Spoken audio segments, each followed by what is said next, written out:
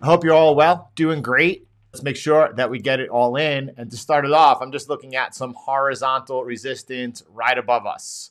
Above that, it looks like we have some room to roam. Right now, Bitcoin on the breakout, currently consolidating, looking above over here where my mouse is, right around this level, right around there. You can see over here, this was this was support on the breakdown retest, and then follow through on the downside that there is a level that we need to take out. Taking that out gives us a little bit of room over here. And at that point, we could be looking at something like 40,000 Bitcoin. We could even tag the 0.786 fib retracement level as we did in past cycles, right around 49, 50,000 Bitcoin. Both those things could very much happen. Or Bitcoin could roll over we don't know. Just because in the past we've seen Bitcoin show certain characteristics throughout the cycle does not mean that it's going to happen again. We're going to make sure that we stay in front of it. We're seeing Bitcoin consolidating right now well above the breakout of that resistance. As long as we're above it, everything is perfectly perfectly aligned here for further upside. A break below the green line Right now, I have it around, let's call it 27,750. 27,000. Yeah, it's a good number. 27,500. That's the slope of this line. As long as we're above those levels, we're looking good. If you look at right now, we are looking at a 25 basis points hike being priced in.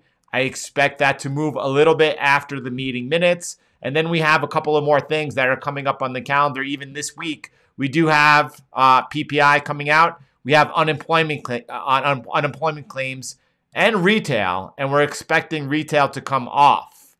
We want to make sure that the U.S. consumer stays into the market. Once the U.S. consumer leaves, if job markets come off soft, we could still see some repricing coming into this month's or next month's May meeting and we are in a data dependent market. Speaking of that data, energy decline was the biggest deflationary driver for the headline CPI. How do you think that's going to look next month? This is gasoline futures coming back, and we are seeing them rise. We are seeing because OPEC to go ahead and cut output, we have seen a rise in crude oil. So, whether or not this eventually, look at that pattern over here. I mean, could could you see that roll over? Yes. Or does that look a bit like a rounding bottom? It does. It, do, it does look at the, where I'm highlighting that, that area of resistance, right? I could see a rounding bottom over here. Breaking above that area, would it be down over here? Would it be kind of right, right at the $3 psychological number?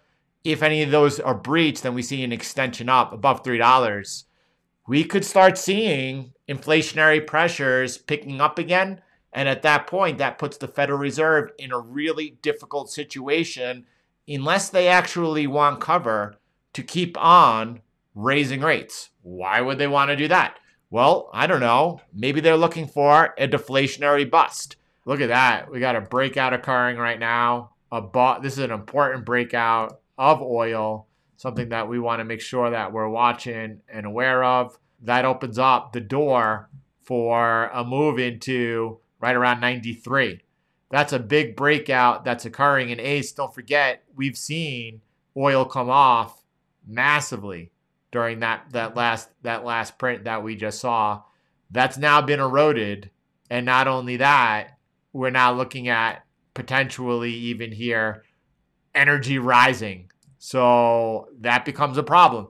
That's something that we've talked about as our cause cause for concern going forward would be that if we saw any type of inflationary forces rising. Today, the markets are looking at the CPI data release that is data from basically going back the last month or so. It's not forward looking, that's reverse looking and going that's why we watch the price of energy.